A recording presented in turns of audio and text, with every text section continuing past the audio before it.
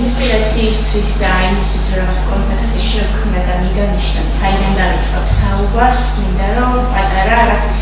ვიდეო არქივით არის გაკეთებული, იმიტომ რომ ადამიანი რომელსაც ფილმია გადაღებული თუ ვიდეო ლასლო ნიჟინსკიზე სხვა უკეთესი ხარისხის ფილმი არსებობს. ჩავთავ. ცირები კადრებია იმისთვის რომ იმ პერიოდის გარკვეული ესთეტიკა თუ ფორმა, ენა სამეთყველო იგრძნოთ რომელიც უკვე საბჭოთა რუსეთისთვის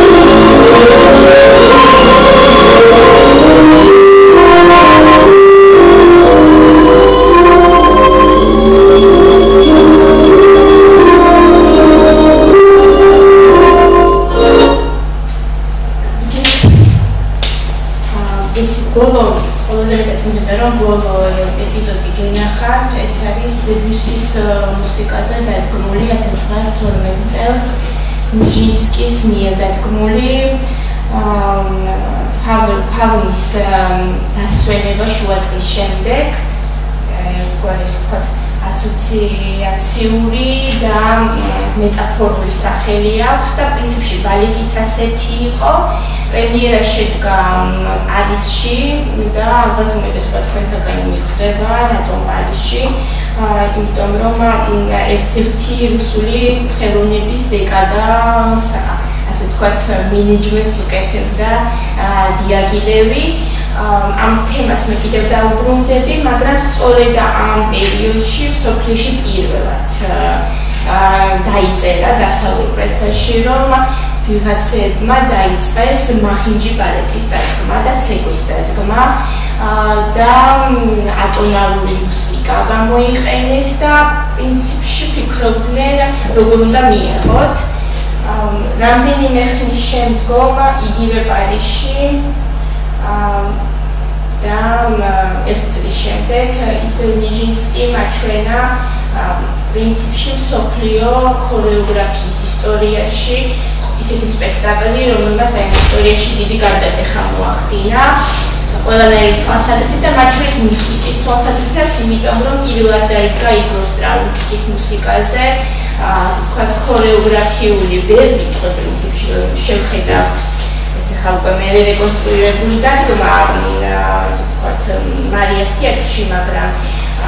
13 წელს საფრანგეთი გაუჩნდა იმით მიუხედავად იმისა რომ გარკვეული ასე ვთქვათ მოდერნის ცეკვი ჩანასახები არსებობდა.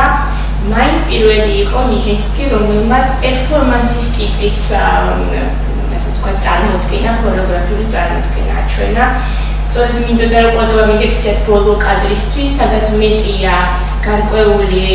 აა ჟესტი, აუზა, საუბარი, უფრო სწორედ საუბარი კი არა, გადაძახილი გარკვეულ რაღაც თეორიასთან, იდეებთან, ასოციაციებთან და ნაკლები მოძრაობა, ნაკლები სტერეოტიპული, კლასიკური ლექსიკა ცეკვის. მე გაჩვენებ ზუსტად ახლა ანუ თანამედროვე რეკონსტრუქციას ნიჟინსკის დადგმისა, სტრავინსკის კურთხეული გაზაფხული და შემდეგ დაუბრუნდები აა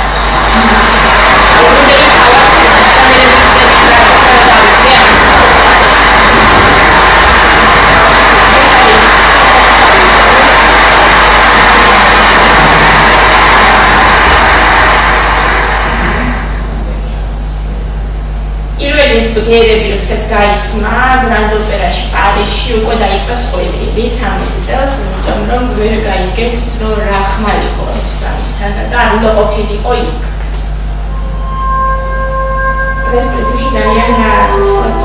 ფორმალურად ისმენება, ხო, მაგრამ სტრავინსკი განსაკუთრებით ფრანგმა მუსიკოსებმა იმ პერიოდში არ აღიარეს და დიდი ბოიკოტი გამოუცხადეს.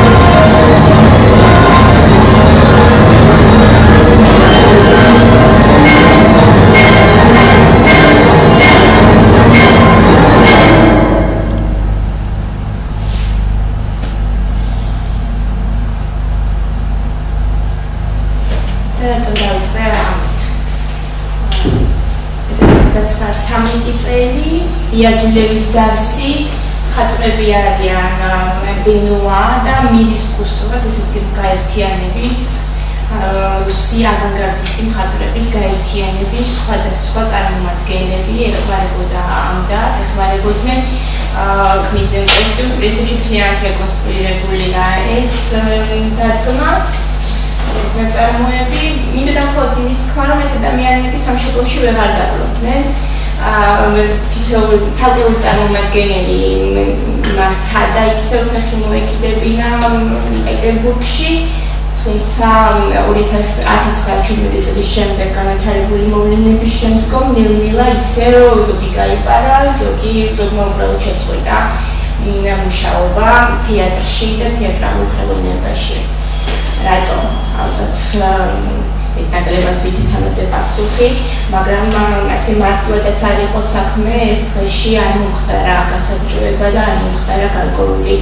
იდეოლოგიური დაკვეთის მიცემა ამ არტისტებისთვის, რის გამოც მათთვის გაუსაძლისი იყო მუშაობა. ცოტა უფრო ადრე გადავინახე სოციალურ პერიოდი, როგორი იყო რუსეთში და რატო საუბრობთ საერთოდ რუსეთზე. აა იმისთვის რომ ჩვენ ბოლოსკენ მაინც შევეხოთ და მივხვდეთ სულ ან ახალ კონტექსტში დავინახოთ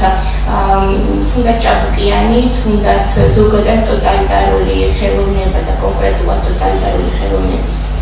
სასცენო ხელოვნება ბალეტის სახით. ალბათ ალბათ დავისაუბროთ იმაზე რა რა ფუნდამენტი ჩაუყარა საფუძვლად ამ მიმართულებას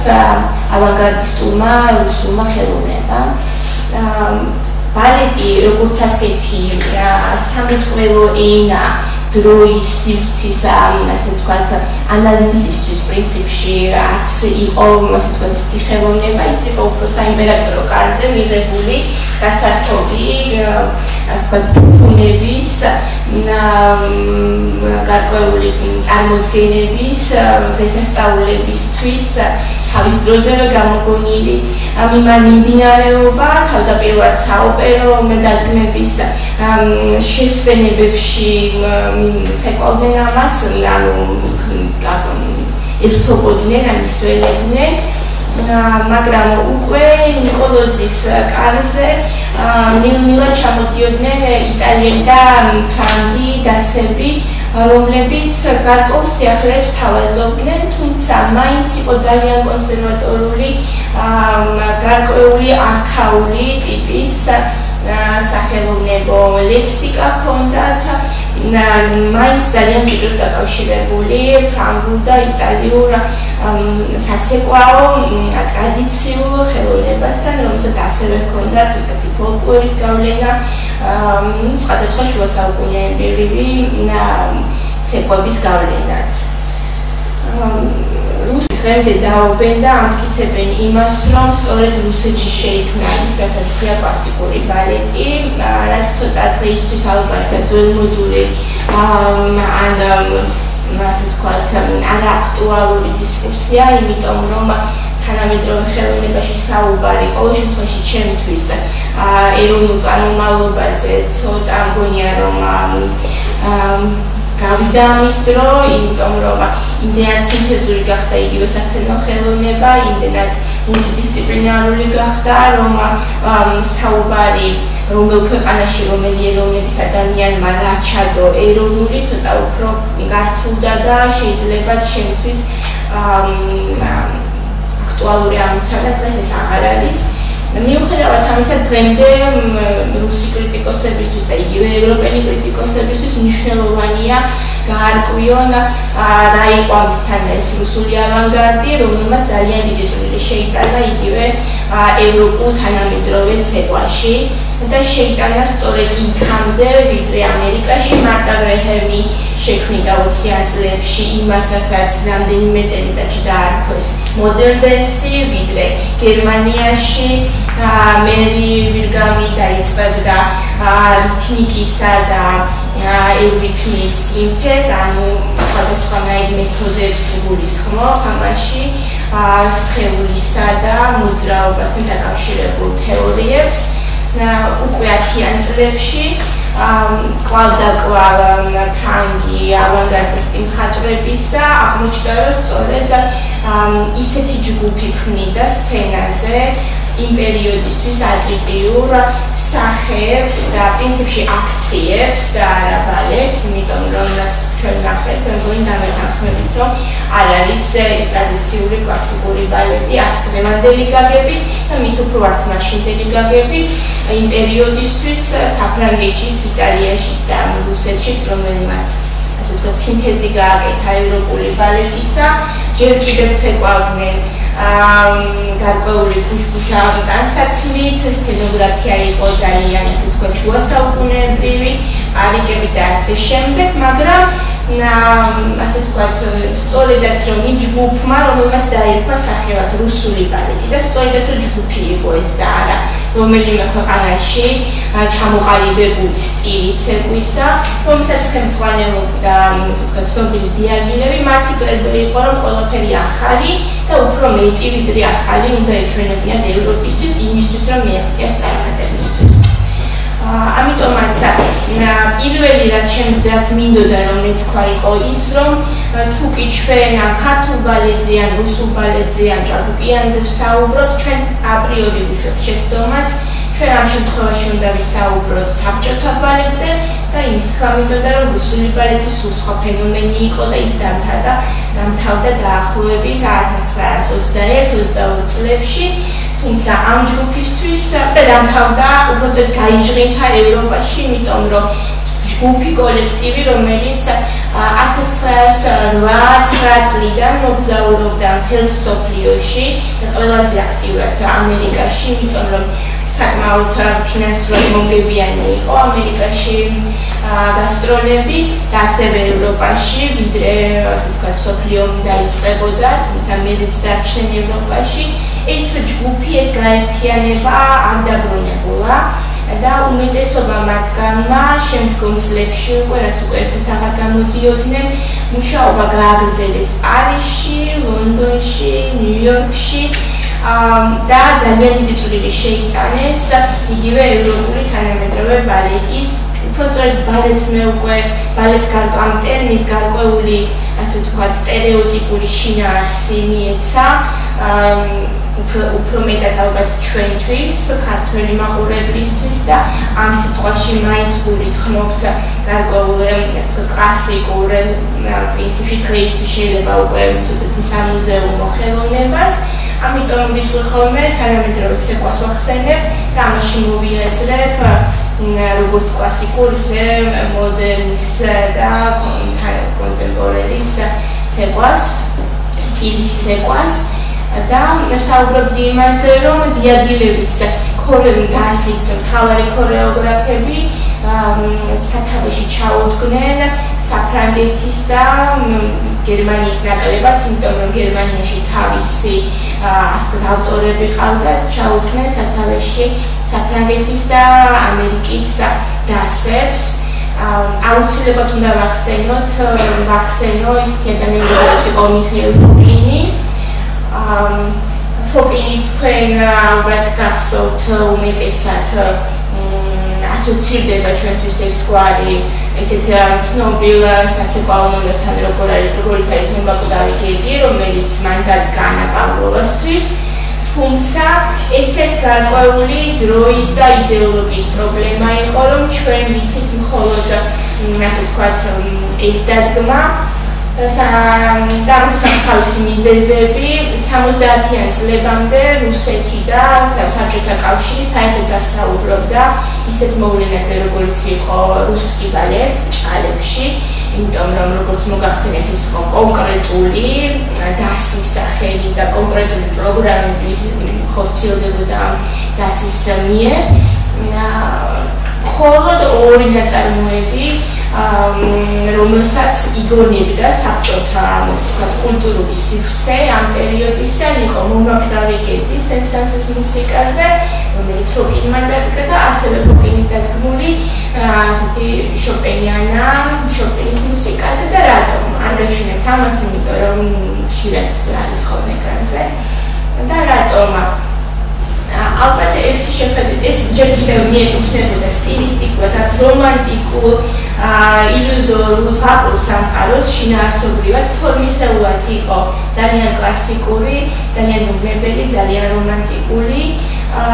ერთი მხრივ იყო გედი, რომელიც იღუპებოდა და მთავარი აქცენტი კეთდებოდა რაღაც მუსიკოვის სილამაზეზე, გარკვეულ ესთეტიკურ მხარეებზე ამ დათქმის. მეორე ნაწარმოებით ანალოგიური იყო, უბრალოდ უფრო მასიური სცენები იყო და ფერების ცეკვა იყო. მაგრამ მიხეილ ფოკინის სხვა დათქმებზე საუბარი არ ყოფილა არასოდეს, მხოლოდ უკვე დათბობის პერიოდში მცირე ფრაგმენტების რეკონსტრუქცია მოახდინეს და სამწუხაროდ ჩანაწერებიც არ არის. მათგან ძალიან მნიშვნელოვანია ის რომ ფოკინი დგავდა არამრიმსკი-კორსაკოვის, სტრავინსკის, პროკოფიევის მუსიკაზე, ნახმანინოვის მუსიკაზე და მისი მის ქორეოგრაფიაში პირველად გამოჩნდა ერთნაირად აქტიური მოცეკვავე ქალი და მამაკაცი. ჩვენ კი გვასწავლიდნენ და გვეუბნებიან რომ ჭაბუკენის დამსახურება მხოლოდ იმაში იყო რომ მამაკაცის ცეკვა განავითარა. სინამდვილეში ეს ფაქტი მათი არ არის. ჭაკენს უზომოს დიდი დამსახურებები ჰქონდა და ამაზე ალბათ უფრო ჩვენი შეხვედრის ბოლოსკენ ვისაუბრებ, მაგრამ სწორედ 10-9-10 წლებში დადგა ვოკინმა ისეთი დადგმები, სადაც დიდი მასიური სცენები მამაკაცების და ქალების ერთნაირი სიძველით შეყვავდნენ, ერთნაირი დაჭრა ჰქონდათ. და უკვე იყო არა გარკვეული მანერული ასე ვთქვათ დუეტები ან რაღაც მენუეტები როგორც ასე ვთქვათ სამეფო რუსეთისთვის იყო ასე ვთქვათ უფრო ტრადიციული და ეს უკვე აღარ იყო იტალიელი ფრანგი ქორეოგრაფის მარიუს პეციპას დადგმების მსგავსი რომელიც ასევე საზრდოობდა გარკვეული შუა საუკუნეებრივი ტრადიციებით. ეს უკვე იყო როგორც ფოკინი წერდა, ქონდა სურვილი რომ თანამედროვე ადამიანი დაეყენებინა სცენაზე. რასაც უკვე უფრო აქტიურად გერმანიაში გააკეთებენ სხვა ადამიანები ცოტა მოგვიანებით. მეორე ადამიანი რომელიც ასე ვთქვათ გავდა ატონალურ ბალეტს და როგორც მე დაწერენ მახინჩ მუსიკაზე მახინჩ ადამიანებს და ცოტა ნაგვიანებით იტყვიან რომ სინამდვილეში ნამდვილ ადამიანებს ნამდვილი ასე თქო ცხოვრებისეული ბგერებით გაჯერებულ მუსიკაზე ეს იყო ნიჟინსკი რომელიც რომელიც პრინციპში დაიწყო საუბარი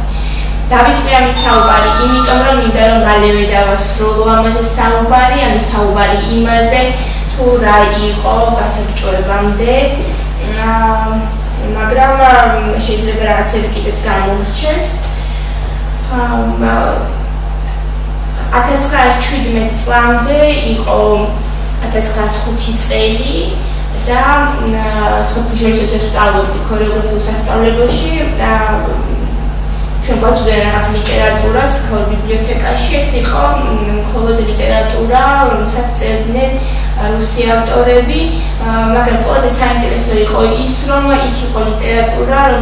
რომელიც იყო დრიგურების ტიპის ლიტერატურა, სადაც იყო ჩანაწერები, სწორედ აი ამ წლების არტისტების და რეჟისორების დღიურები, რომლებიც აღწერდნენ თუ რა ხდებოდა პეტერბურგში და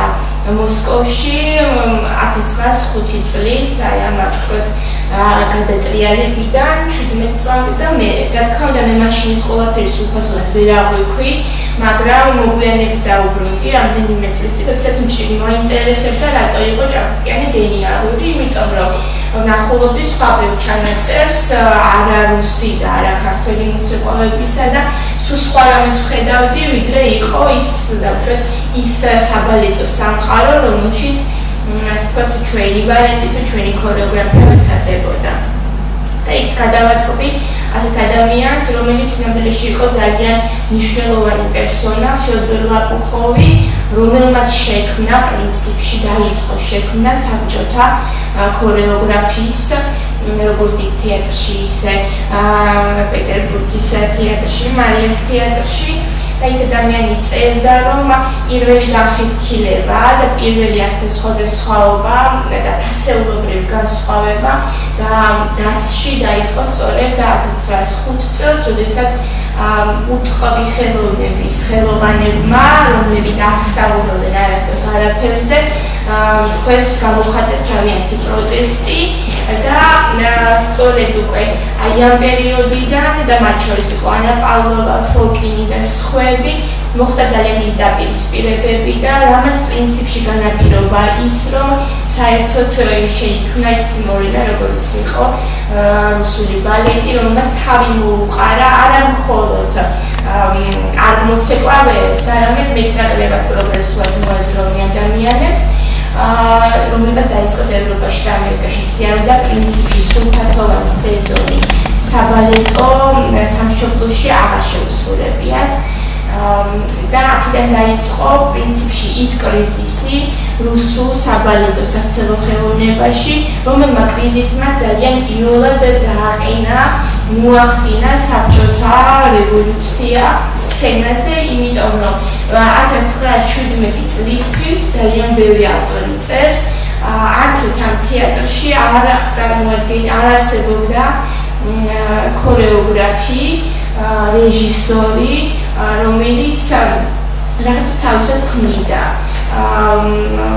რომელიც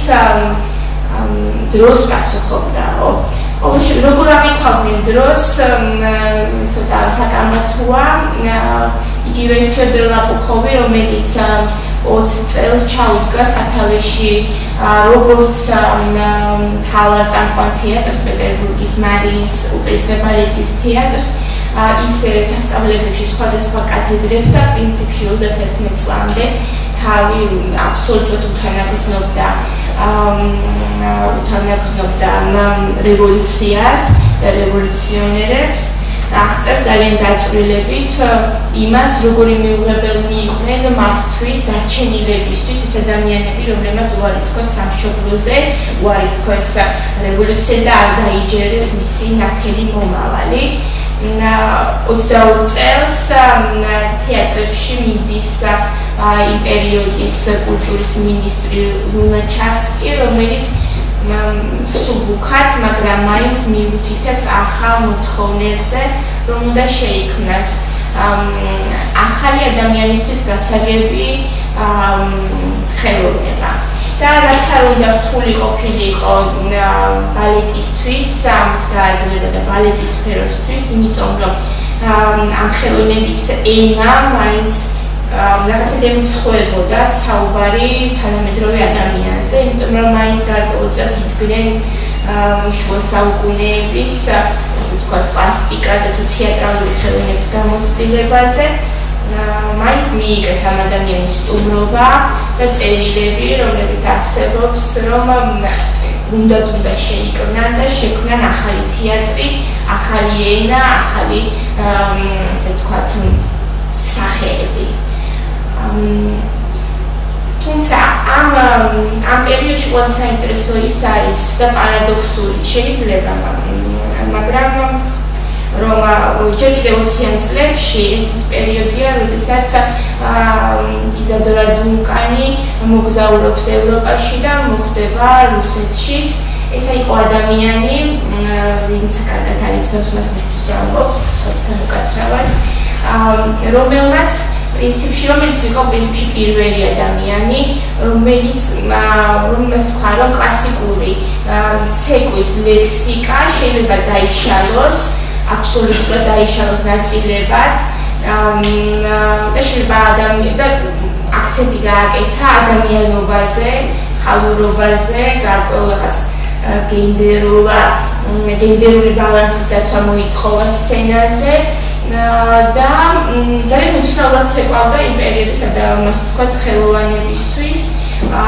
ძალიან თავისუფალი იყო და მისი მოძრაობები იგივე ფოკინისტვის რომელიც ვახსენე გახდა ახალი ვარსკვლავი იზადრა დუნკანი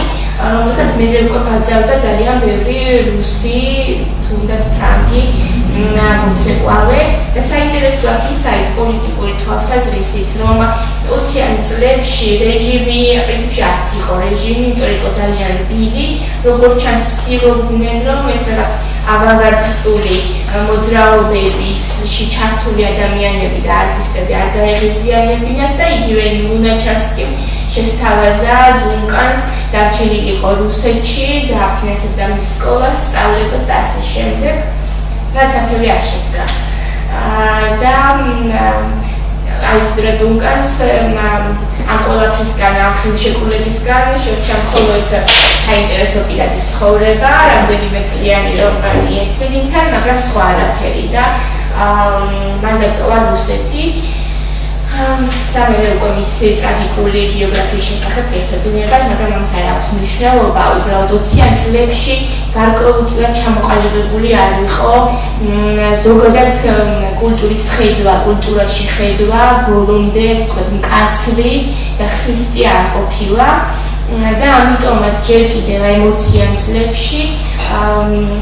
დიაგილები, რა თქმა უნდა, მოცეკვავეები ვერ მოძრა არ მოძრაობდნენ, არ ბრუნდებოდნენ, მაგრამ დიაგილები მაინც ცდილობდა რუსეთიდან ახალი ძალების გაყვანას და ეს ჩვენთვის საინტერესო ალბათ მხოლოდ იმიტომ არის, რომ ერთ-ერთი ბოლო ნაკადი, რომელიც საფრანგეთში წავიდა, ამ ნაკადში იყო რუსეთიდან წავიდა საფრანგეთში, ამ ნაკადში იყო გიორგი ბალანჩივაძე, რომელიც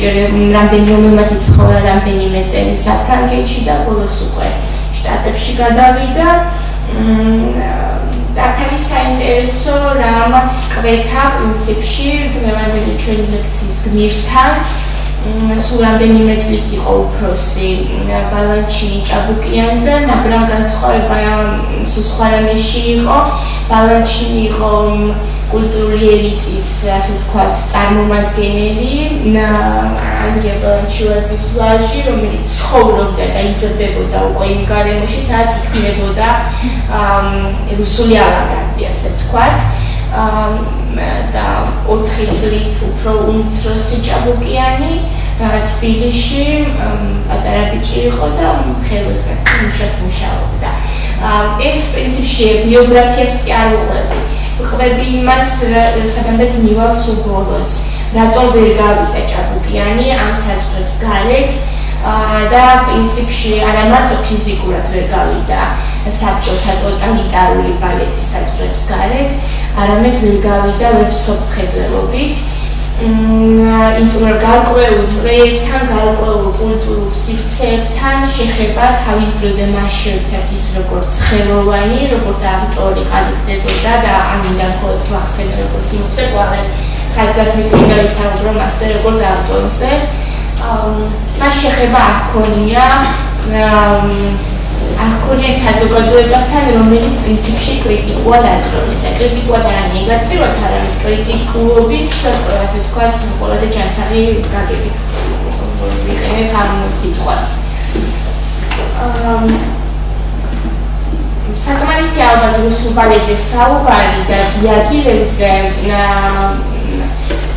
1924 წელს მოხდა პირველი სტუდიური ადამიანების შემატება იმ ჯგუფთან და იმ ბირთთან, რომელიც საფრანგეთში ცხოვრობდა, თუმცა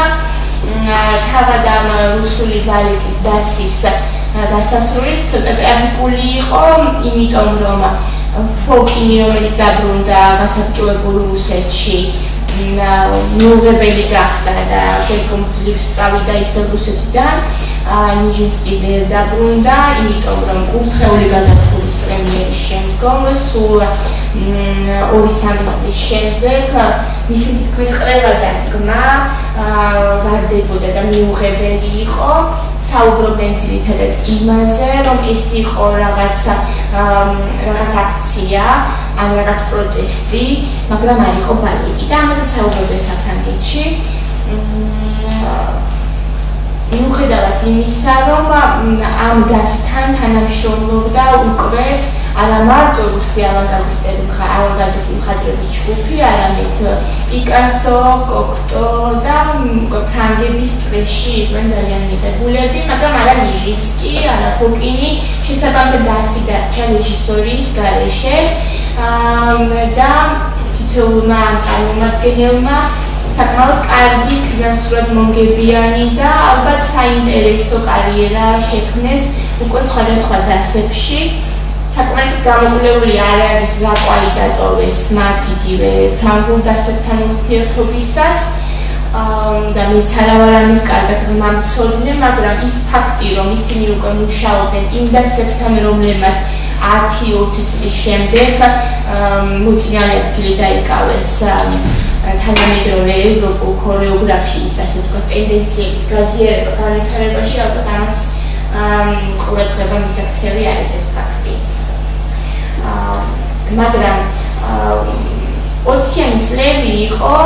რუსეთისთვის რთული არა მარტო იმიტომ რომ პოლიტიკური გარდატეხა ხდებოდა, არამედ იმიტომაც რომ იყო გარკვეული ახალი იდეოლოგიური დაკვეთა, რომელიც შეწყმოდა რუსულ ავანგარდისტულ ხედვას, რის მცდელობებიც იყო, მაგრამ პრინციპში შეგვიძლია ვთქვა, რომ ეს დაიჭრა რაღაც ექსპერიმენტად, რომელიც ბოლომდე არ დასრულდა. აა აი პერიოდის არტისტებისთვის რევოლუცია და ახალი სამყაროს შექმნა. რადიო ყვევით არის? და ვერ მოხდებია მოსაწყო უნდა ვიღაცა. ამას განვიხილოთ მომენტში. რუსი ავანგარდისტებისთვის ერთხანს ვიცით რომ საკმაოდ მომხიბლები იყო მთელი რევოლუციური ბოლშევიკური სულისკვეთება იმის შესახებ თუ როგორ უნდა შექმნათ ახალი სამყარო და რომ ყველაფერი ძველი იყო წასაშლელი და ძალიან კარგად ემთხვეოდა ალბათ ალბათ ზუსტად არ ვიცი ფუტურისტულ ხედვას რომელიც ალბათ ერთმანეთს ასწრებს რაღაც რამდენიმე წლით ხუთი წლით ალბათ. ფუტურისტების დოქტრინას რომ ყველაფერი ძველი სამუზეუმო და წაშლილიყო და შექმნა ახალი და ამ დროს პოლიტიკურად თქვა ელიტაშიც და სათავეშიც ექცევიან რევოლუციონერები რომელიც თითქმის იგივეს ამბობენ თუ კი არ ჩაუღამავდებიან ისინი სიღრმეებს ანალოგიური იყო ის რომ უნდა შექმნილიყო ახალი ადამიანი ახალი სამყარო და მას ჭირდებოდათ შესაბამისად ახალი თანამედროვე ხელოვნება ამისთვის პრინციპში 20-იან წლებში აფინანსებდნენ კიდევაც რუსეთში გარკვეულ გაერთიანებებს და თავისუფალი ხელოვნების სახელოსნოებს, რაც თავი მოუყარეს ფუტურისტებს, კონსტრუქტივისტებს უმაღლეს სასწავლებელსაც აფუძნებენ, რომელშიც ასევე აერთიანებენ უკვე ამ ავანგარდისტ მხატვრებს, მალევიჩს, კანდინსკის, გონჩაროვას, ლარიონოს, რომლებიც ამავდროულად ბალეტის მხატვრებიც არიან, ამის ხალხთან დამამწყდა და ამათ ასაკრებენ როგორც პედაგოგებს და ამ ყველაფერს ხელს აწერს ლენინი. არ ვიცი რატომ ალბათ სხვა გზა ჰქონდა ამ პერიოდში გარკვეულად როგორც უკვე თქვი არ არიყვნენ ხისტინე ჩამოყალიბებულნი, ან მართლა ყველა შეეროდა რომ ერთ საქმეს აკეთებდნენ ზუსტად არ ვიცი. რა თქმა უნდა, იმიტომ რომ ავანგარდისტული სულისკვეთება კარგად გამოიყენეს რევოლუციაში, ყოველ შემთხვევაში ავანგარდის მხატვრებს აშკარად თუ კი მათ ძლებებს გადავხედავ და იგივე რეჟისორებს შეუდათ რომ რევოლუცია დაეხმარებოდა თანამედროვე ახალი რუსული კულტურის შექმნისათვის რაც თუ კი დაუბრუნდები ისევ ბალეტს 10 წელიწადში ეს ილუზია დასრულდა იგივე დიდი ფიოდორ ლაკუხოვისთვის რომელიც უეცრად 10 წელიწადში გახდა ყველაფრის მამა მამა მაესტრო რომელიც ნამდვილად არის უნიჭო ადამიანი უბრალოდ უბრალოდ საოცრად აკრიტიკებს ყველას ვინც მანამდე იყო საოცრად უხერხულად მის ესე თქვა ბიოგრაფიულ ციკლში და საუბრობს რომ დიახ სწორედ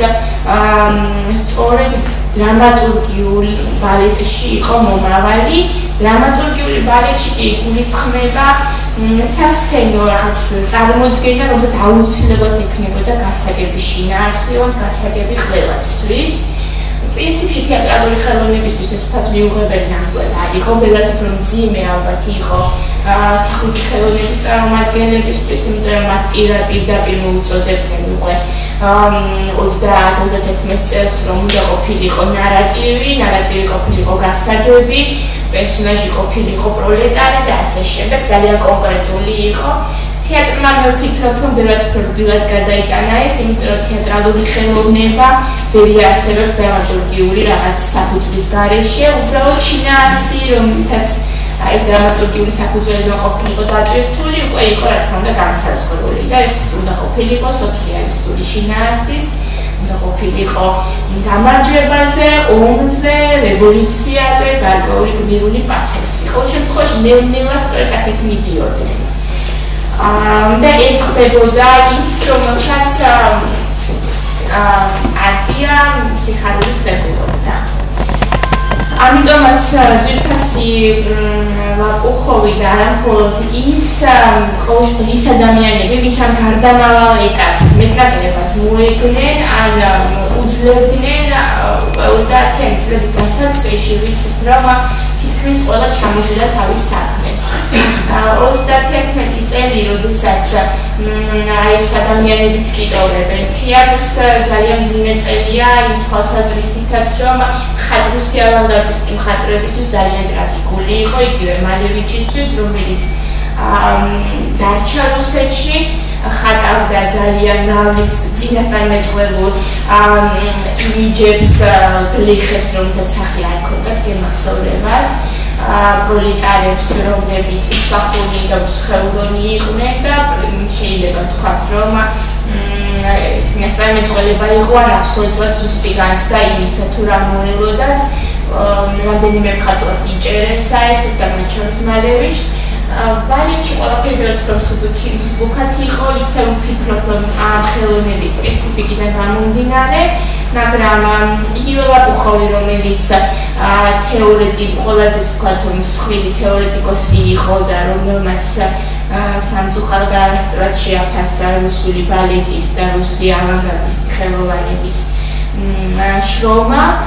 ისიც კი იძულებული გახდა და დაეტოვებინა დაეტოვებინა თეატრ და არა მარტო ის. და ამ ყველაფერს იმიტომ საუბრობ რომ 29 წელს 1929 წელს ვახტანგ ჭავჭიანი უკვე იდგა მარიას თეატრის სცენაზე. და უკვე იყო ძალიან დიდი აღფრთოვანება მისადმი როგორც როგორც მოცეკვავისადმი. და სულ ხოლმე რატომ კითხულობდი რატომ და ამაზე პასუხი შეიძლება ბევრი ჭავჭიანის მოყარულისათვის უხერხულად ჟღერდეს, მაგრამ ამაზე პასუხი უფრო მას შემდეგ გავიგე, რაც ცოტათი გავეკვიე საბჭოთა ხელოვნების ავანგარდისა და საბჭოთა ასე ვთქვათ კულტურის შეხვედრის აი ამ ეპოქაში. და ზოგადად საბჭოთა ხელოვნების დაკვეთაში რა იყო და შესაბამისად რატომ გახდა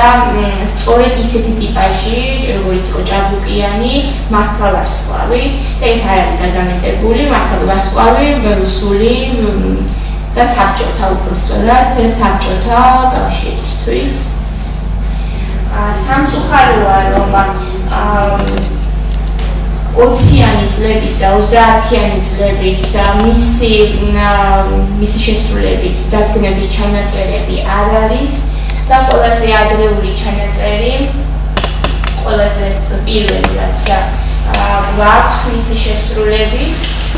ეს უკვე არის 30-იანი წლების ბოლო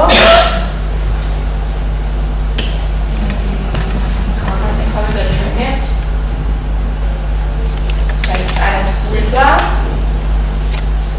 მესაც ყველაფერი პრობლემ და გაჩვენებთ როგორი გახდა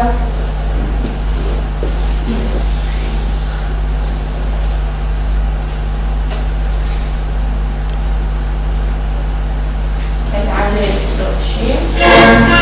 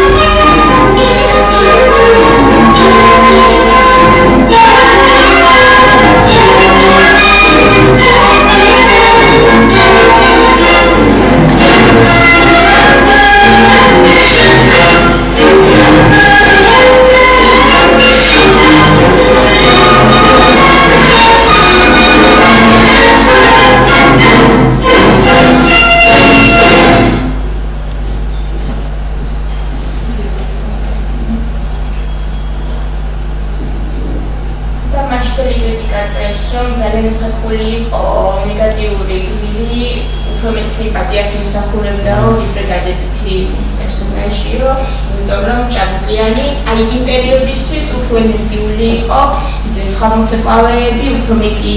ესე ვთქვათ, ძალა ჰქონდა იმისთვის, რომ შეექმნა ისეთი სახეები, როგორც მოგვიანებით შექმნა და როგორც ძალიან ჭირდებოდა უკვე ტოტალიტარულ, ასე ვთქვათ, კულტურას. და ის იყო სახე გმირის, სახე ძლიერი ადამიანის, რომელიც რომელიც ერთი მიკლავდება არაპროგრესულ ასე ძველ ტრადიციებზე დაფუძნებულ მასებს ჭალებში და სწორედ ასე დაგმები იყო, როცა ის ერთი შეებრძოლებოდა სცენებს აა სჭირდებოდათ გმირი რიგითი ფენებიდან, რომელიც დაამარცხებდა თავადს და გაიმარჯვებდა ყველანაირ ბრძოლაში.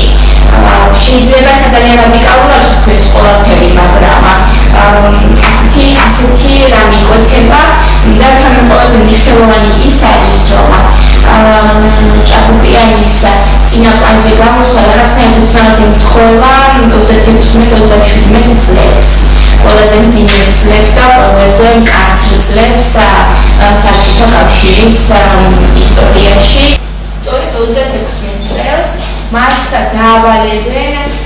ის არის სოლისტი, ასრულებს ყველა ასე ვთქვათ კლასიკურ დადგმას. ნიშნობრივია ის, რომ რეპერტუარში დატოვეს არა ფოკინის და ნიჟინსკის დადგმები, არამედ ბევრად უფრო ძველი დადგმები, როგორც იყო დაუშვათ დონ კიხოტი, მაიადერა, ერთი სიტყვით ნაწარმოებები, სადაც რომის დრამა, ასე ვთქვათ, დრამატურგიული საფუძველი, დრამატურგიული ხარგა არის დაკავშირებული არის ზღაპართან, ან სიზმართან, ან გარკვეულ რომანტიკულ რაღაც სასიყვარულო ისტორიასთან. რაც პრინციპში სოც სოციალიზმისთვის ძალიან შობლიური თემებია, იმიტომ რომ დროის გაგება, როგორც მე უკვე ტოტალიტარიზმის ფილოსოფოსები წერენ იგივე ალენტი ამბობს, რომ დროს სოციალისტები და სოციალიზმი დროის მხოლოდ ერთგვარი აღქმა ჰქონდათ და ითხოვდნენ ერთგვარ აღქმას, არანაირი წარსული, არანაირი არც მხოლოდ მომავალი, მაგრამ ეს მომავალიც უნდა ყოფილიყო ზღაპრული, უნდა ყოფილიყო ილუზორული, ამიტომაც იგივე სოციალისტური სახვითი ხელოვნებისთვის თუ თეატრალური ხელოვნებისთვის ძალიან ახლობელი იყო მითები, გებერძნულ მითოლოგიას აიახშად უბრუნდებოდნენ ფოლკლორის პრინციპში და აი ეს ბალეტები რომელიც დატოვეს რეპერტუარში, სწორედ მას ვთქვათ ამ ტიპის იყო იგივე დონკიხოტში რომელსაც დღემდე ასრულებს არა მარტო რუსული ბალეტი არამედ თბილისისაც არანაირი ნიშანწყალი სერვანტესის იქ არ არის ეს არის ერთი ჩვეულებრივი სიზმარი უშინაარსო ფაქტობრივად და დაახლოებით ამ ტიპის არის ის კლასიკური რეპერტუარი რომელსაც ჩვენ დღემდე ასრულებენ და მაშინ ჭაბუკიანი ასრულებდა მაგრამ მას როგორც მოცეკვავეს მართლაც ძალიან უნიკალური თვისება ჰქონდა იმისა როგორც წერდა, როგორც შეაწერებში ნახულობთ, რაც კი არსებობს იმაში, რომ რაც კი ქონდა შესაძლებელი მაქსიმალურად ტვირთავდა ასეთ საშემსრულებლო ტექნიკით, მანევრებით, ხასიათით, პათოსით სცენაზე ნამდვილად იყო გარკვეული სახე ძლიერი მამაკაცისა რომელიც ასე ვთქვათ გმირულ პათოს ქმნიდა და აი ამ კლასიკური რეპერტუარის გარდა იმ პერიოდში, როდესაც უკვე ძალიან აქტუალური იყო სტალინის მონოლოგები იმის შესახებ, რომ ეს უბრალოდ რა კოსმოპოლიტური გაერთიანება? კი არ არის საბჭოთა კავშირი, როგორც აღიქვალდება შტაბას ტროცკი, ლენინი, ეს უბრალოდ იდეებზე დაფუძნებული გაერთიანება კი არ არის, არამედ სტალინმა თავის მონოლოგებში შემოიტანა ის, რომ ეს უკვე არის ეთნოსების გაერთიანება. ანუ ზეელი არის საბჭოთა საბჭოთა ერი, მაგრამ ის შედგება ეთნოსებისგან და პრინციპში საბჭოთა პერიოდში სწორედ ეს ნაციონალიზმი ფსევდონაციონალიზმი ამ პერიოდში იწყება, როდესაც მას სურდა და გარკვეულ სახელმწიფოების ნიმუშებში ჩანს ის სტალინის სახე, როგორც ნავალი ეთნოსის მამის სახე და მისი ესვა ტექსტები და წერილები სწორედ მუდმივად ამაზე აკეთებს აქცენტს. იცი ნაციონალიზმის საკითხი რომ ასე ვთქვათ საბჭოთა მარქსისტულ იდეოლოგიის დაფუძნებულ საბჭოთა კავშირში რომ სტალინის ეკუთვნის ამაზე ბევრი ავტორი წერს ანუ ეს ამას ეროვნების მნიშვნელობების გააქტიურება. მე ამ საკითხს არ დავშევეხები ახლა მაგრამ ფაქტია რომ ამ მონოლოგების პარალელურად 36 წელს დაიგეგმება ქართული ხელოვნების კულტურის დეკადა რუსეთის საბჭოთა კავშირში და რამდენიმე დადგმას და პროექტს მოიფიქრებენ და ერთ-ერთი ყველაზე მნიშვნელოვანი დადგმა პროექტი ამ დეკადისთვის არის საბალეტო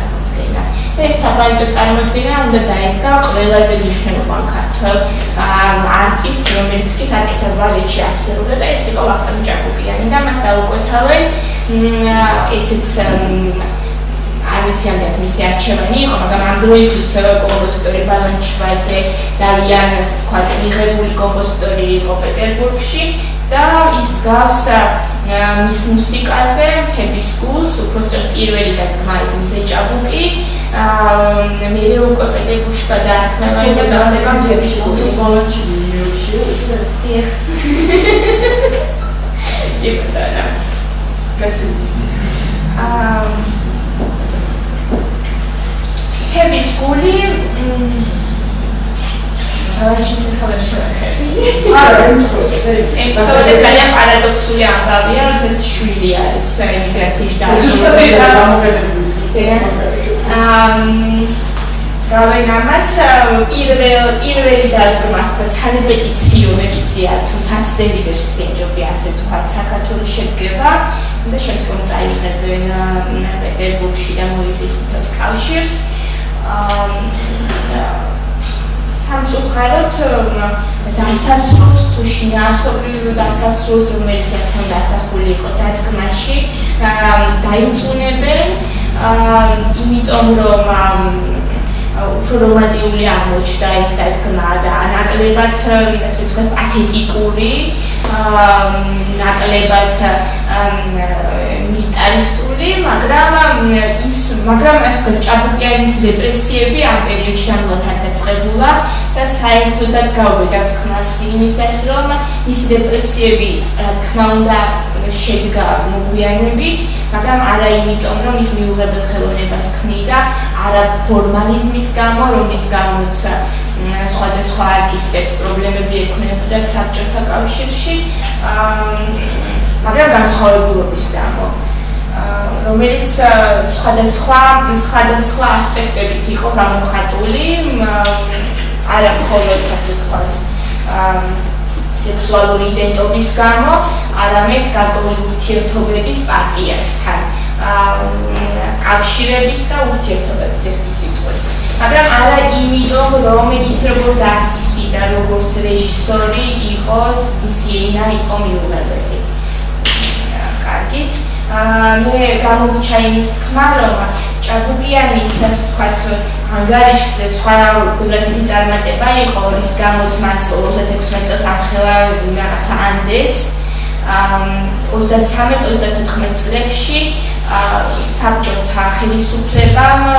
ასე ვთქვათ, საგასტროლოდ გაუშვა საბჭოთა ბალეტი ევროპაში და შტატებში. და ეს იყო მათი საპასუხო გასვლა, თითქოს საპასუხო. მე თქვენ გაჩვენეთ 10-იანი წლებიდან როგორ დაიწყო რუსულმა ბალეტმა დასმა მოგზაურობა და უსაზღრო დიდი ავტორიტეტი ჰქონდათ განსაკუთრებით შტატებში და ეს რუსული ბალეტი სულ მუშაობდა, მათ ის თქო კავშირის მიღმა სულ არსებობდა, სულ ფეთქალე და სულ ისმოდა და სულ ზურებს ახორციელებდა, ასე თქვა, სხვადასხვა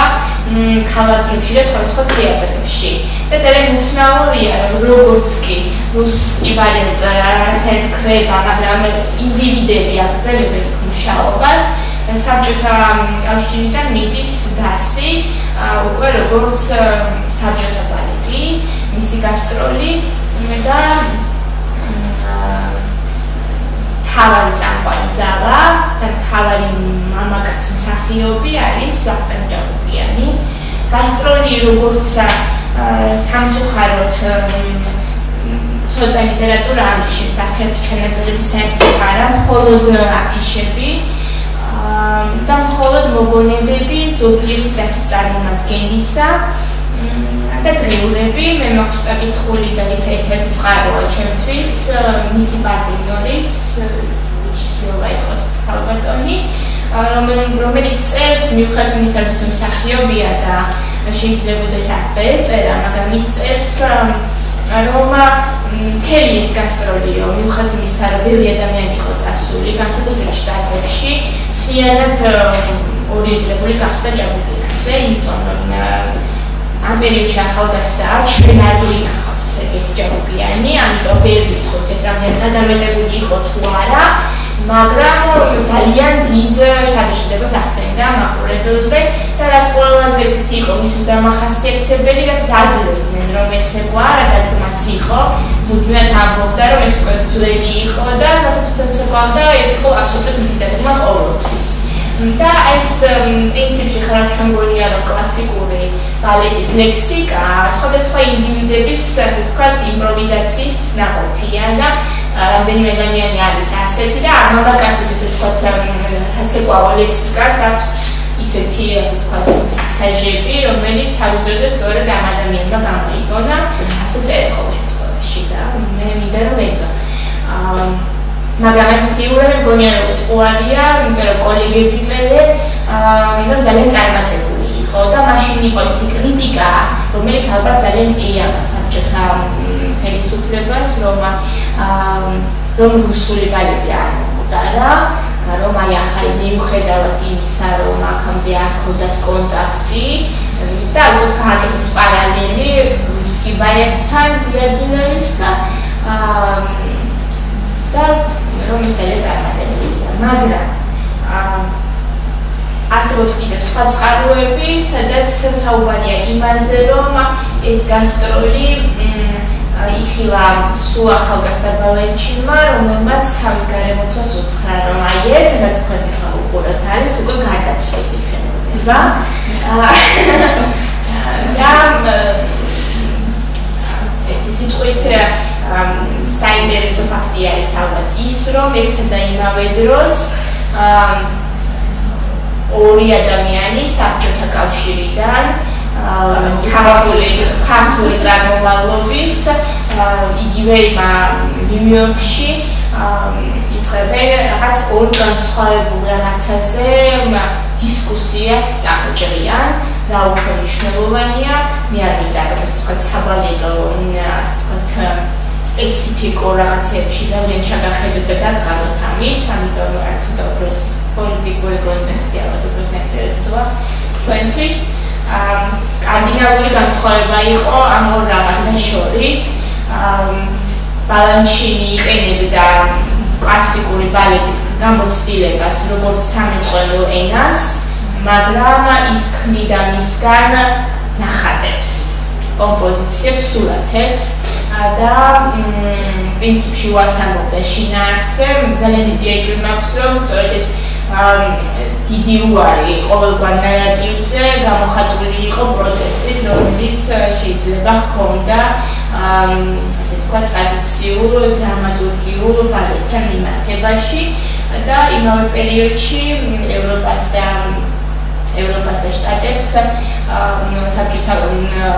კავშირი ახსნობს პრინციპში ენერგიით გაძლიერებულ, მაგრამ ფორმით ალბათ მაინც უფრო ძველ და კლასიკურ ბალეტს, ტრადიციულს და ამ პერიოდში ძალიან ბევრ საუბრობენ და წერენ უკვე ახალი საბჭოთა კრიტიკოსები იმაზე, როგორ შეინარჩუნონ ტრადიცია, რა ძალიან დიდი გარდაქმნა იყო 20-იანი წლებიდან, როცა საუბარი იყო ახალი სამყაროს შექმნაზე. 30-იანი წლების ბოლოსკენ მუდმივად საუბარია არაბატო ბალეტში ძალიან მოგეხსენებათ ტრადიციების შენარჩუნებაზე, მაგრამ ისე რომ ეს ტრადიციები იყოს გასაგები და მისაღები და ხელმისაწვდომი ყველასთვის აა პროლეტარებისთვისაც კი. უფრო პირველ რიგში მათთვის და ამალა თქო უნდა გავლენა იქონია უკვე 40-იან წლებში ახალ დადგმებზე, რომლის ერთადერთი ნამუშევარი ამ წუთს გაჩვენეთ. ამ დადგმას ვთქვათ, ამ ჩანაწერში ჭამპიონი უკვე დაბრუნებულია და მეც გულიც აქვს დადგმული უკვე. აა ჭაბუკიანზე როგორც რეჟისორზე და როგორც ქართულ რეჟისორზე სწორედ საუბარი იწყება იმ პერიოდის შემდეგ, რაც უკვე მას დათმული აქვს 1-2 ბალეტი და რატომ იწყება? იმიტომ რომ იქაც ძირითადად ხშირ შემთხვევაში უძვეთ ქართულ მუსიკას და კიდევ იმიტომ რომ ენას რომელს რომელსაც ის იყენებს ქსოვილში პერიოდულად თავს ფოლკლორულ ელემენტებს და რაღაც კომპოზიციებს. ჩვენ ხორუმის ელემენტები გასი შეიტანა და საერთოდ დადგა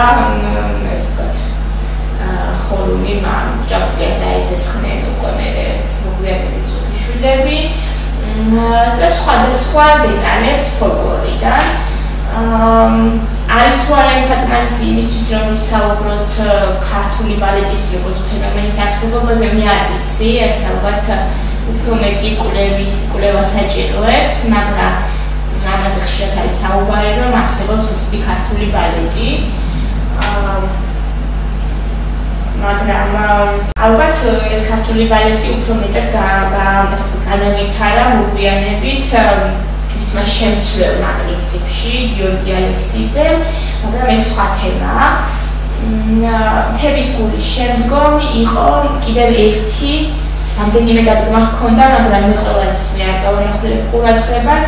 კიდევ ერთი ისეთი დადგმა, რომელიც სრულიად საბჭოთა კულტურისთვის გახდა ფავორიტული დადგმა. ეს იყო ლავრენსია. ლოპე დე ვეგას პიესის მიხედვით ფონტო ხუნა. ეს ქვია. და ამ შემთხვევაში ალბათ შინას კი იცით მაგრამ მაინც შეგახსენებთ ეს არის შუა საუკუნეების ესპანეთი ბრძოლა სხვადასხვა სოციალურ ფენებს შორის. და ეს შინასი იყო ალბათ ისეთი თემა იყო რომელიც ძალიან აქტუალური იყო, ძალიან მოძმებიანი იყო ალბათ პუბლიკა ამ თემისადმი. იმიტომ რომ 30-იანი წლებია და ჯერ კიდევ არის მუდმივი დისკუსია სწორედ ამ პრობლემებზე, ასე ვთქვათ, ამ სურვილებზე და ხედვაზე. აა ჭაბუკიანი გადასახიერებდა გლეხის ბიჭს, რომელიც რომელსაც ჩაგრავენ აა ჩაგრავენ აა როგორც მამაკაცაც როგორც პიროვნებას უსტაცებენ ასე თქვა საფოს უსტაცებს თავადი და ეს გლეხის ბიჭი იმენ შეძლებს რომ თელს სოფელს დააყენებს ფეხზე და მთელი სოფლი დაქიკუნებს თავადს უსტაცებენ ამ ასე თქვა ქალბატონს და ყველაფერი დამთავრდება გამარჯვებით. მაგრამ ეს არის ასე ვთქვათ თემ კარგა, მაგრამ ფორმისეულად ისაც სცენაზე ხდებოდა. აა ეს იყო ნამდვილი რევოლუცია, პოლიტიკური აჯანყება. აა თავიდან ბოლომდე მე ვერ გაჩვენებთ სრულყოფილად და სამწუხაროდ YouTube-ში არ არის ისეთი დიდი მასიური სცენები ვერ ვიპოვე. მაგრამ აა ეს იყო დადგმა აა დადგმა პლაკატი სადაც გუგუნებდა პირდაპირ გაგებით დიდი მასიური სცენებში მონაწილე ადამიანების მოძრაობის ხმა. და აქცენტი იყო რაღაცა დინამიკაზე ეს დიდი მასა ადამიანის კოლდებალიტის როგორ მოძრაობდა სცენაზე გუნდურად და ძალიან დიდი პათეტიკით და პათოსით იმიტომ რომ რაღაცა უნდა დაეთქვა და რაღაცა უნდა გაემარჯვათ და პრინციპში ამის ყურებისას სულაც ხოლმე განცდა რომ დაგვიანებით ან უნივერსიტეტის დაგვიანებით მაგრამ ჭაბუკიანმა თავისი ენერგიით, რომელიც ამ თელ სამწარმოეთებას გაუზიარა და გადასდო, რაღაცაირი ეს ჯანხი, აჯანყება მოახდინა სცენაზე, ის რაც რამდენიმე წლის წინ მოხდა ალბათ ქალაქში, ან განწყობა იყო ასეთი და ქვეყანაში საერთოდ. როგორ ანა მოხდა და მოიგონეს. ყოველ შემთხვევაში საბჭოთა ხელოვნება ყველა მისი გარიგი ცდილობდა იმას, რომ ეს პათოსი დიდხან შეინარჩუნებინათ და ვთქვათ დარჩენილი იყო და გაიწოლებიათ და განვითარებიათ, იმიტომ რომ ისე როგორც ხათა შორის ოტე მარჯანიშვილის რაღაც გარკვეული ძველი კიევში გადაღების შემდგომ წერდნენ ამაზე, ასწორედ ამ ლაურენციას ოთ კრიტიკა ჰქონდა სწორედ ასეთი, რომ მაყურებელი ვერ წყნარდებოდა და გამოდიოდნენ განახლებული რევოლუციური სულისკვეთებით და მაგრამ საოცრად კარგად ცეკვავდა მაინც არ შემიძლია მიუხედავად იმისა რომ ეს ჩემი მონოლოგი ნაკლებად ეხება ვთქვათ სპეციფიკურად და ამადანის რეჟისურას ლექსიკას ქორეოგრაფიულს მაინც აუცილებლად უნდა აღნიშნო ის, რომ ტექნიკურად აა დაერმატ ტექნიკურად, როგორც ავტორი, როგორც მხატვარი, საოცრად კარგად ორგანულად კრავდა ყველაფერს, როგორც ზოგად კომპოზიციას, ისე ამ კომპოზიციაში ყველა დეტალს, ყოველი მოძრაობა იყო რაღაც თელის ნაწილი და აა ძალიან ასე ვთქვათ, კარგი ოსტატი იყო იმისა, როგორ მაშინ იქნა წარმოქმნა, როგორ უნდა დაეჭრა დინამიკა, ტემპი და ალბათ ეს მართლა იყო ძალიან სპეციალიზებული და გაბინამუშავარი ამ თვალსაზრისით. ეს არის მისი ვარიაცია, თუ დაიწყება.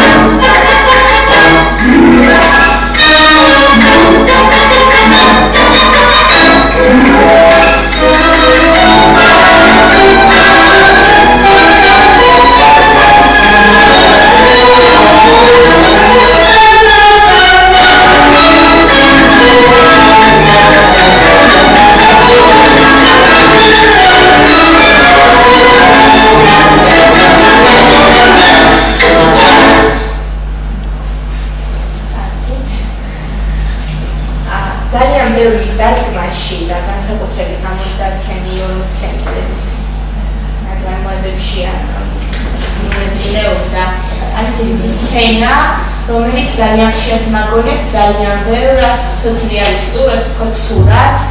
აა იკონოგრაფიულ ასე ვთქვათ სქემას ერთი ადამიანი ასე ვთქვათ წინა პლანზე წარმოსული ადამიანი ძლიერი ადამიანი და გარშემო რაღაც აბსტრაქტული სამყარო ან საზოგადოება ანტიდიტელიზაჟი და პრინციპში, როდესაც უკვე აქტუალური გახდა სტალინის გამოსახვა ნახატებში და სამის ძნამდე ნამდვილად არისო. აა სწორედ ამ კომპოზიციას ირჩევდნენ მის წარმოსაჩენად. აა რაღაც რომელიც ძალიან ასე ვთქვათ პრინციპში იკონოგრაფიულიც არის, ხო, მე მაგალითად რაღაც ყოვლის შემძლე თუ არა, ყველაზე დიდი და ძლიერი ფიგურა გამოხატავს სიმშვიდეთან სიმძიმით გამოხატული რომელიც ან კითხულობს ან ის მესე საუბრება ან მოზარდს ან აა ბელადი. და ბალეტში რომელსაც რომელსაც დღემდე ჩვენ რომელსაც ვეკუთვნით პრინციპში კონცეპტუალურად თუ ესთეტიკურად. ამ კლასიკურ საბჭოთა ბალეტში რომელსაც რუსულ ბალეტს ეძახიან მე ვეძახი საბჭოთას სწორედ ამ კომპოზიციებით არის აგებული თითქმის ყველა დათქმა და როცა პარალელურად იგივე ბალანჩინისთან დაწყებული მოდა თანამედროვე ბალეტში და მხოლოდ ბალანჩინის მიერ დაწყებული ტენდენციები სულ სხვა სისტემის და სტრუქტურის არის. მუდმივად არიან არა ერთი წამყვანი მოცეკვავე, არამედ რამდენიმე ეს მიენაცვლებიან არის რაღაც გარკვეული რაოდენობა ადამიანების კომპოზიცია წყობილია რაღაც ბალანსზე.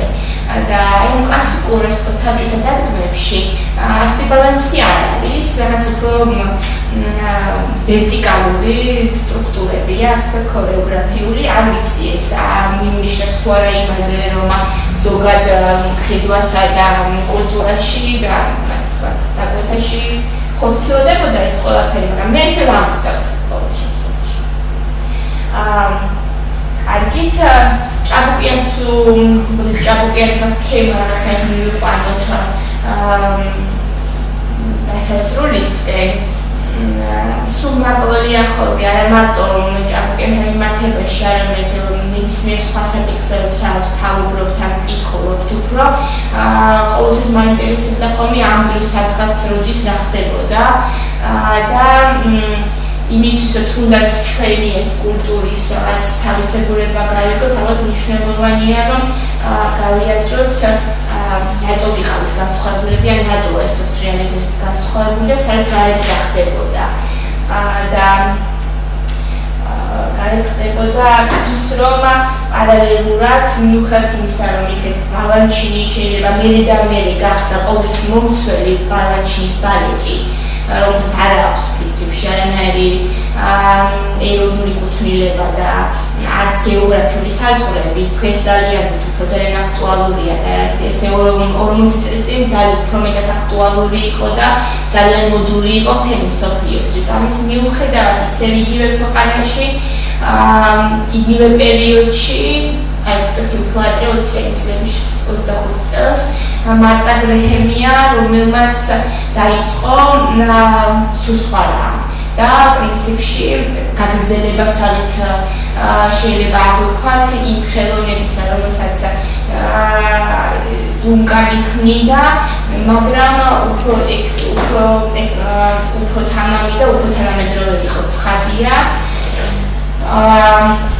მოდერნ მოდერნეს დაიწყო და ეს თანამედროვე ბალეტი თუ ცეკვა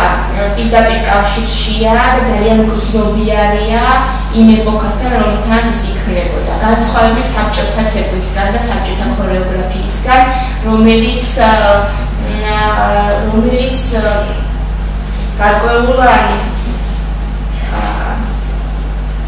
გარკვეულ დოქტრინას, არსებულ დოქტრინას ემსახურებოდა, ათოს ემსახურებოდა, მაგრამ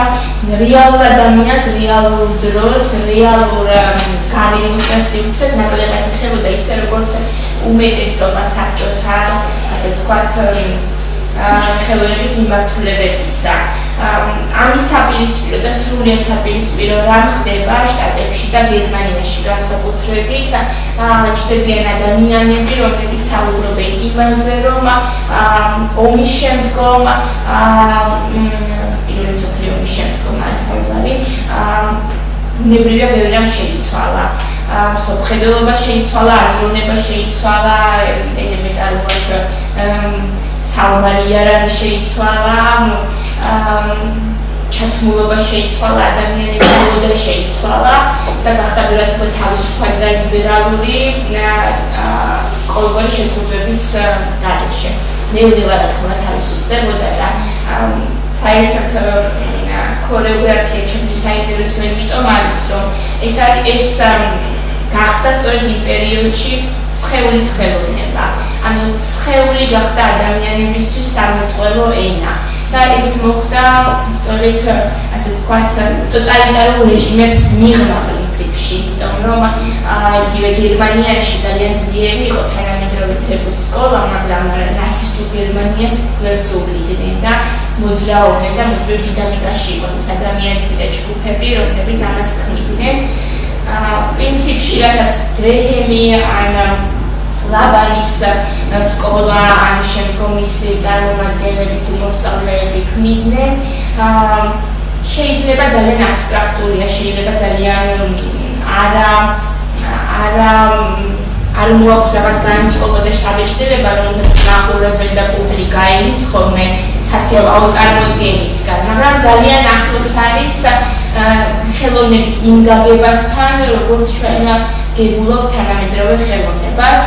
თანამედროვე ბალეტი, მოდერნ ბალეტი გახდა კვლევის, კვლევის მეთოდი. და იკვლევდნენ გარემოს, დროს, ახალ იდეებს და ცდილობდნენ რაღაცნაირად სხეული ყოფილიყო ამ ყველაფრის გამტარი და მედიატორი. და სწორედ ამ ევოლუციან 30-იან წლებში. ისეთი თემები შემოვიდა ქორეოგრაფიაში, როგორიც იყო ომი, როგორიც იყო გენდერი, როგორიც იყო სხვადასხვა სოციალური საკითხები და ყოველი ადამიანი, ვინც ასე ვთქვათ, ლიდერი იყო თუ მონაწილე, მუდმივად საუბრობდნენ იმაზე, რომ არ შეიძლებოდა ქორეოგრაფია და ცეკვა ყოფილიყო განზე, გვერდზე იმ პროცესებისა, რაც ხდებოდა მე-20 საუკუნეში, ხელოვნებაში და პოლიტიკაში და საერთოდ საფაროში, იმიტომ რომ სხეული ყველაზე გრძნობიარია და პირველადია, რაც ადამიანს აქვს იმისთვის, რომ რეაგირება მოახდინოს და ყველაზე კომფორტულია იმისთვის, რომ გახდეს მედიატორი ახალი ემოციების და ახალი იდეების. რომ მე ხარ შეგაწუხებთ, მაგრამ ყოველის გაერთიანება, რომელმაც რომელმაც მე ალბათ თავი მოიყარა პინა ბაუშთან და სხვებთან ყოველის გაერთიანება ეხმობოდა ერთდროულად. არა მარტო სხვა სახელმწიფო მიმართულების ტენდენციებს არამედ უმეტესად ლიტერატურას ფილოსოფიას და თავისთავად ძალიან საინტერესოა მაგრამ დღევანდელი ჩემი თემა ის არ არის ამ საკითხოთ იმიტომ ვეხები რომ ვიგრძნობ კონტექსტი და უცნაურობა საბჭოთა ხელოვნების კონკრეტულად ბალეტის.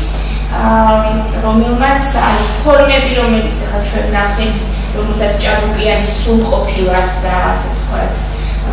ძალიან კარგად ტექნიკურად ასრულებდა. მე და მე უფრო ტექნიკურად უფრო განავითარეს მაგრამ კონცეფცია ვთქვათ, სურათები, კომპოზიციები, სტრუქტურა, ხელოვნების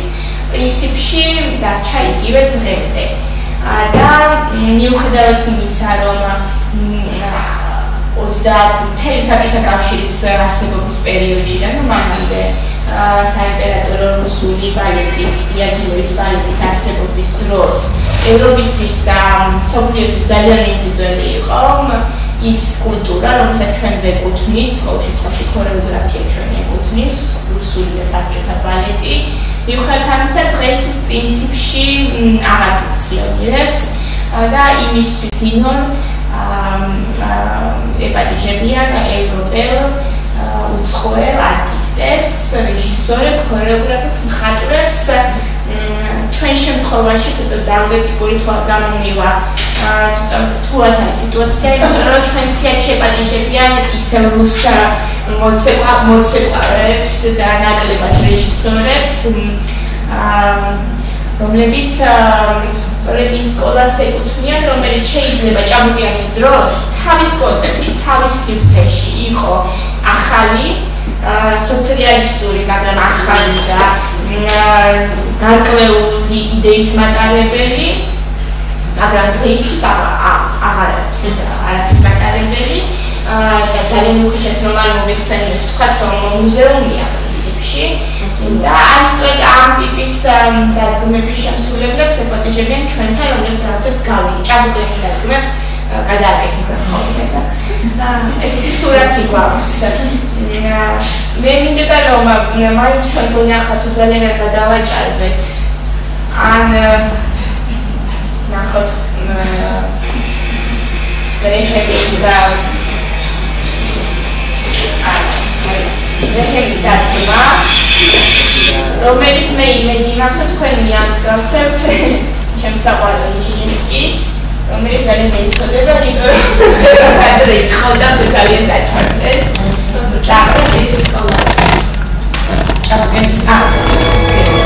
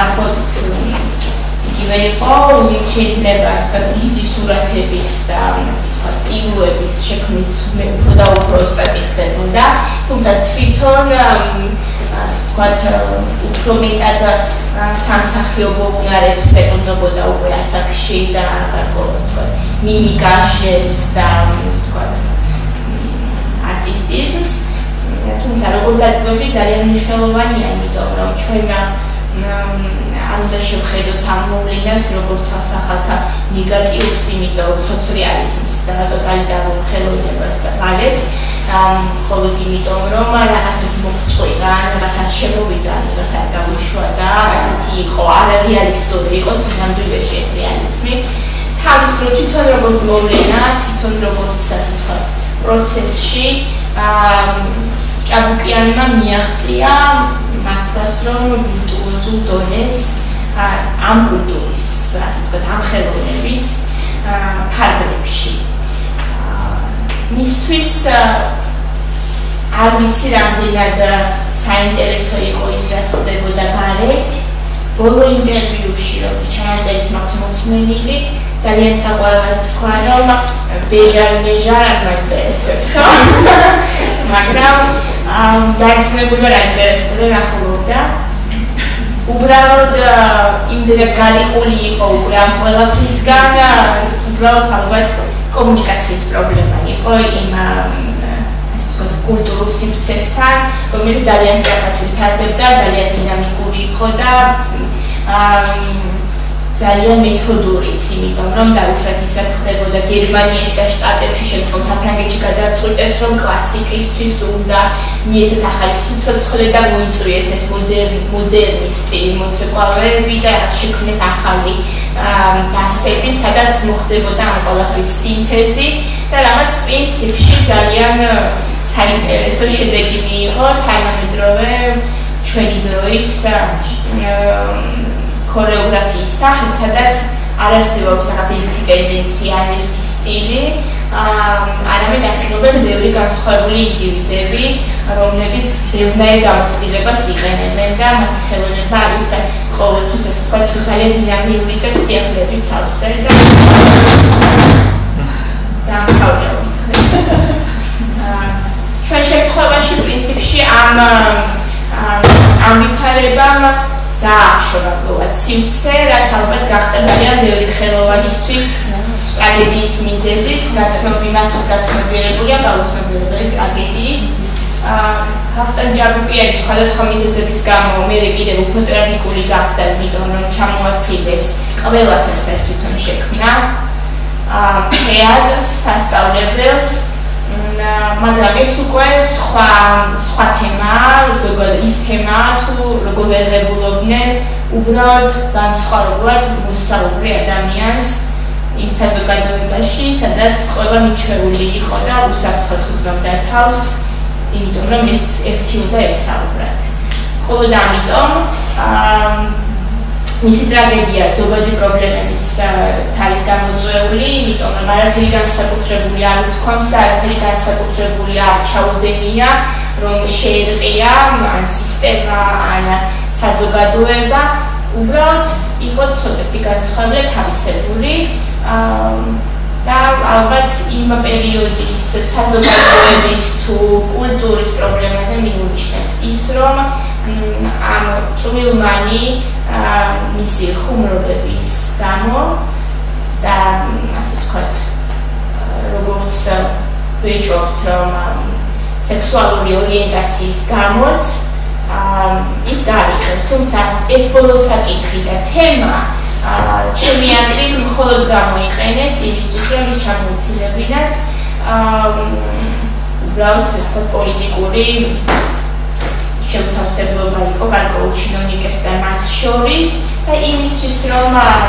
შეერყიათ მისი ავტორიტეტი, მისი ავტორიტეტი როგორც ღმერთი კაცის, როგორც მზეჭაბუკის, როგორც მთების შემარტეველი რევოლუციონერის იყო საკმაოდ დიდი, განსაკუთრებით საქართველოში. აა შეიძლება ითქვას, მან როგორც ქორეოგრაფმა დატოვა ენთუზიაზმი იმისა, რომ საქართველოში ქართველებს რაღაც დაიდგათ და შეიქმნათ. და